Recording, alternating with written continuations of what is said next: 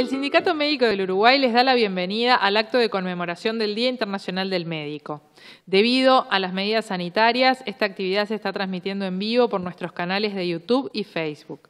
Y mandamos un saludo muy especial para quienes están conectados a esta transmisión. Cada 3 de diciembre conmemoramos el Día Internacional del Médico por resolución de la Confederación Médica Panamericana en honor al doctor Carlos Finlay, nacido en Cuba el 3 de diciembre de 1833. El doctor Finlay descubrió el mecanismo de transmisión de la fiebre amarilla, cuyo vector es el mosquito Aedes aegypti, lo que permitió detener la muerte de millones de personas. Homenajeamos con este hecho y a través de su persona a miles de médicos y médicas que silenciosamente trabajan por una salud mejor de la población. Vamos a darle paso al presidente del Sindicato Médico del Uruguay, doctor Gustavo Greco, para que se dirija a todas y todos ustedes, repasando las actividades del año y repasando sobre todo lo que ha sido este año del centenario del Sindicato Médico del Uruguay, un hecho tremendamente significativo, para todas y todos y que tal vez no hemos podido festejar de la, manera, que teníamos prevista y planeada por la pandemia que seguimos este, transitando. Le damos la palabra al doctor Greco. Buenas tardes a todas y a todos quienes están siguiendo nuestra transmisión.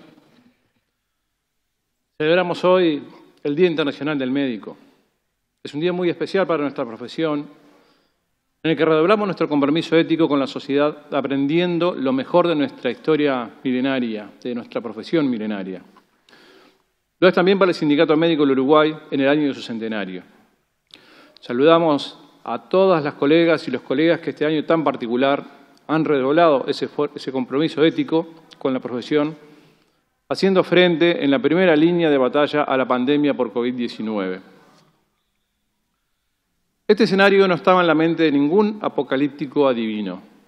El impacto en nuestra vida cotidiana, en nuestros vínculos, en la actividad económica, en la pérdida de fuentes de trabajo y la distorsión de los procesos asistenciales era algo impensable, como inimaginable era que al día de hoy casi un millón y medio de personas fallecieran en el mundo por esta enfermedad hasta hace un año prácticamente desconocida. Las características del SARS-CoV-2 hacen que la población médica y los trabajadores de la salud seamos un blanco especialmente vulnerable si no se cuenta con las debidas medidas físicas de bioprotección, de las políticas específicas y de aplicación de estrictos protocolos asistenciales, tanto para los pacientes que contraen la enfermedad como para aquellos que debemos prevenir que la contraigan. Es una consecuencia inevitable que esto profundice las condiciones de burnout en el personal sanitario. Ojalá se hubieran podido evitar también las que se estiman en miles de muertes de colegas médicos y médicas en el mundo. A ellos y a sus familias nuestro reconocimiento. En nuestro país, la profesión médica ha dado una respuesta digna a la pandemia, a la altura de las circunstancias históricas cumpliendo un rol preponderante en la respuesta que nuestro país ha dado. Respuesta hoy amenazada por el crecimiento exponencial de los contagios y el aumento constante de casos positivos, personas internadas en salas convencionales y en terapia intensiva. Aún lejos de la saturación, hacemos un llamado a la reflexión con propuesta y compromiso, como lo venimos haciendo desde marzo cuando presentamos un plan de respuesta en cuatro etapas.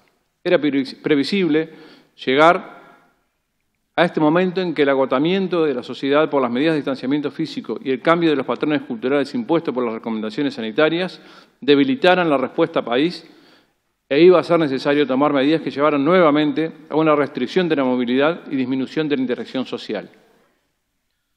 En función de ello, presentamos ahora nuestra campaña de bien público por redes y medios de comunicación, sumando nuestra voz como sindicato médico a la lucha contra el COVID. Y presentamos este video para que lo vean a continuación.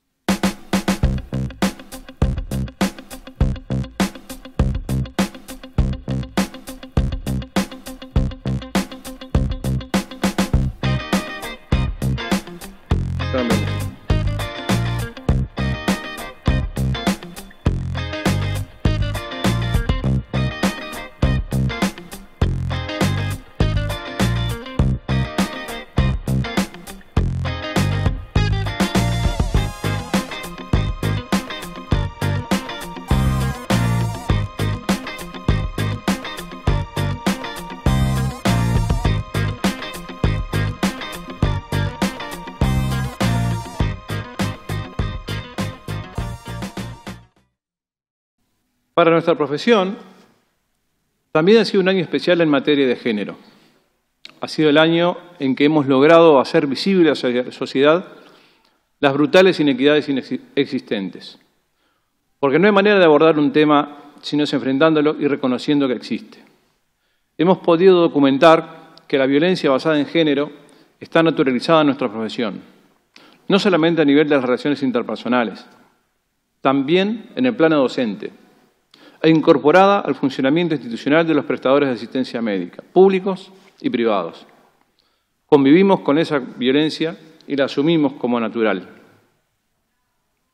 Es tiempo de decir basta, de mirar a los ojos a ese monstruo y entre todas y todos ejecutar acciones que comiencen a modificar los patrones culturales inculcados voluntaria e involuntariamente. Las acciones desde nuestro colectivo han sido y serán enérgicas exigiendo cambios reales que podamos materializar en acuerdos multilaterales en el Consejo de Salarios, donde también allí hemos percibido la resistencia del status quo.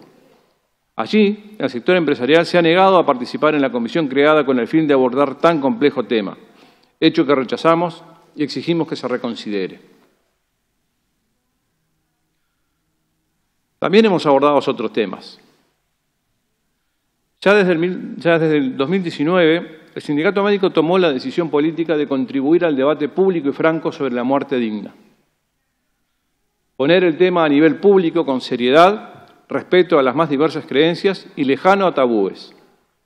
Aportar información sobre lo que nuestra sociedad y el colectivo médico piensan y sienten sobre el proceso de la muerte a través de encuestas conducidas por profesionales como punto de partida. Avanzamos en este tema, a pesar de la pandemia. Hoy se habla con más naturalidad de eutanasia, de suicidio asistido, de cuidados paliativos o de muerte digna. La gente se interesa, pregunta y se piensa en el final de su vida. Consideramos esto como un logro de nuestro sindicato y como una línea de trabajo a profundizar. En paralelo a, todos estos temas y al combate al COVID-19, hemos llevado adelante la negociación por los consejos de salarios, públicos y privados. En tanto sostenemos el compromiso asistencial, aprendemos a tratar la pandemia y nos adaptamos a un nuevo funcionamiento del sistema de salud, hemos dado una dura batalla en defensa de los logros conquistados, de la calidad asistencial, de las condiciones de trabajo y de nuestro salario. Es muy importante detenernos a analizar estos puntos. En un año en que la profesión médica y los trabajadores de la salud en general hemos realizado, y sin duda continuaremos realizando, un esfuerzo superlativo para sostener la asistencia, sufrimos en la mesa de negociación dos duros golpes. Por un lado, los lineamientos generales del Poder Ejecutivo que condenan a los trabajadores del país y a los de la salud en particular a una pérdida de salario segura por vía de la caída de acuerdos de convenios previos y con recuperación apenas parcial al final del periodo a acordar, dependiendo de algunas variables.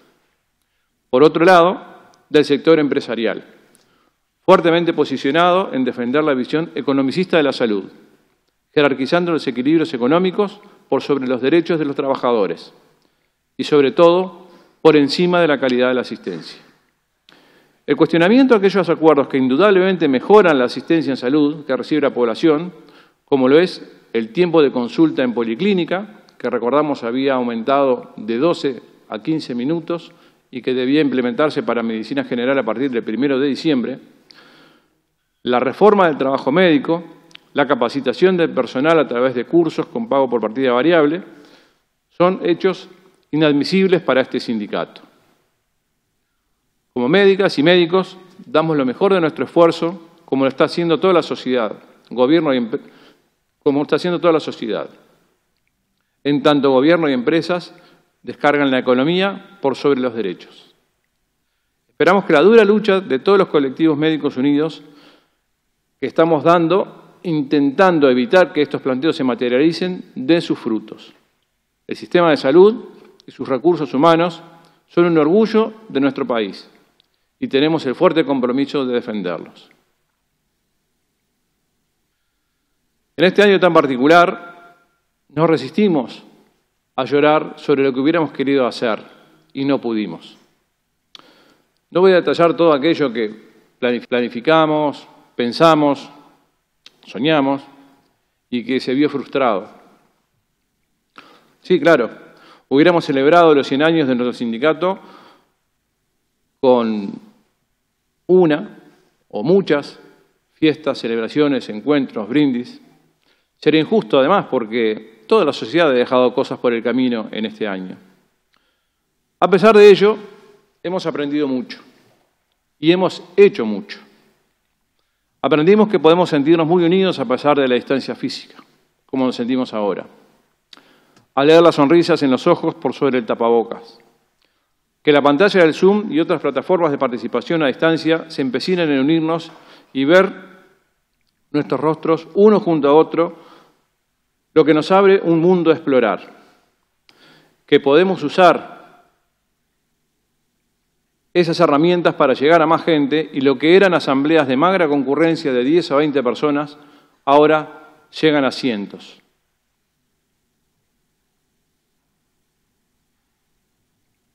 Que somos un sindicato con una enorme importancia social, que la voz de los profesionales de la salud se escuchó fuerte, serena y seria, y sin duda contribuyó a que la gente se quedara en su casa y se confinara, lo que redundó en mejores resultados a la hora de enfrentar a la pandemia. Que en medio de la enorme crisis social y económica, militantes del SMU participaron activamente en la organización y apoyo a los cientos de ollas populares que lamentablemente surgieron en todo el país. No hay virtualidad que mate la sensibilidad social. Que podemos desarrollar eventos de alto contenido científico-político a través de la virtualidad, nacionales o internacionales. Por ejemplo, nuestro primer congreso virtual, con miles de participantes y exposiciones brillantes que nos ayudarán a navegar el futuro. O participamos en una asamblea de la Asociación Médica Mundial, donde debatimos la realidad de la profesión médica en el mundo con representantes de 120 países en forma simultánea. Que también podemos generar contenidos de alto valor para el colectivo médico, como el proyecto en marcha de desarrollo profesional médico continuo, porque entendemos que los constantes avances del conocimiento, y en particular del conocimiento en el campo, de la medicina, hacen indispensable la formación continua del equipo de salud. Creemos imprescindible contribuir a proporcionar, a proporcionar conocimiento médico variado y flexible a fin de que el profesional mantenga la competencia y la calidad en la práctica médica. Contamos para ello con nuestro laboratorio de simulación, inaugurado hace algunas semanas, así como una planificación de actividades a disposición de todo el colectivo médico. También logramos funcionar en comisiones con mucha producción, como fue la Comisión de Género, como fue la Comisión de Ética y Derechos Humanos, como fue la actividad de la Comisión de Reencuentro y la Amistad, a pesar de la, de la distancia, o la Comisión de Cultura, que entre otras cosas llevó adelante el concurso de Bellas Artes cuyos premios entregamos hoy en la tarde. Todos ellos dan vida a nuestro sindicato. Vale la oportunidad, además, para homenajear a nuestros socios honorarios, que nos han acompañado en forma ininterrumpida por 40 años. A ellos, nuestro reconocimiento y, si estuvieran aquí, nuestro gran aplauso. El mundo no es ni mejor ni peor que antes, solo es distinto. Y la resiliencia es una gran virtud que este colectivo sabe emplear muy bien. Salud, colegas del mundo. Feliz día.